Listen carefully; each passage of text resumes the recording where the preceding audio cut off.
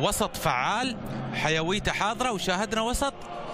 في صراحة أقل عطاءات يعني الصراحة خالد ما كنتش موافق على خروج لوكاتيلي ودخول باسيتش يعني ممكن كان بيرتولاتشي